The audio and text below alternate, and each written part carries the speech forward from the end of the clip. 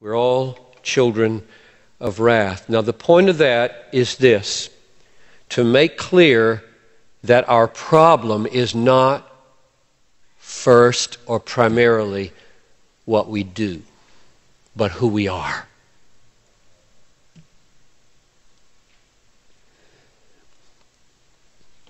I am my main problem. You aren't my problem. My parents are not my problem. My job is not my problem. I'm my problem. That's what it says. I'm by nature suited for wrath. That means that God, in His infinite holiness, when He is angry at me, is doing the perfectly suitable thing. We're so quick to tell people God's not mad at us. We're designed for madness at us. That's who we are. We're woven in our mother's womb like that. In sin did my mother conceive me. I was brought forth in iniquity, David said.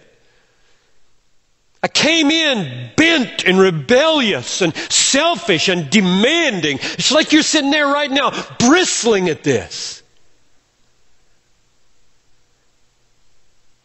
It's who we are.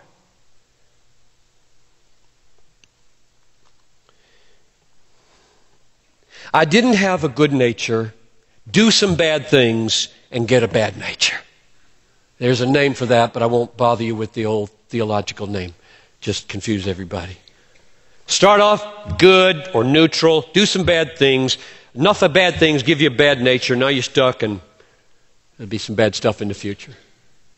Didn't happen that way.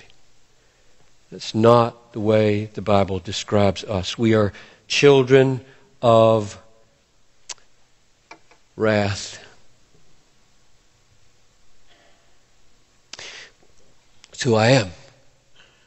My nature is selfish. My nature is self centered.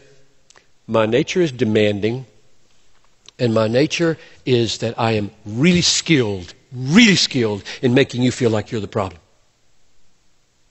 Some people are better at this than others. Everybody's a little bit good at it. Thousand ways to do it. And if your response to that statement is, I know somebody like that,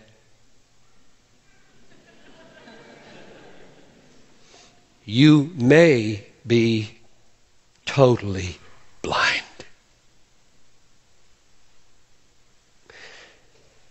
To the deceitfulness of your own heart.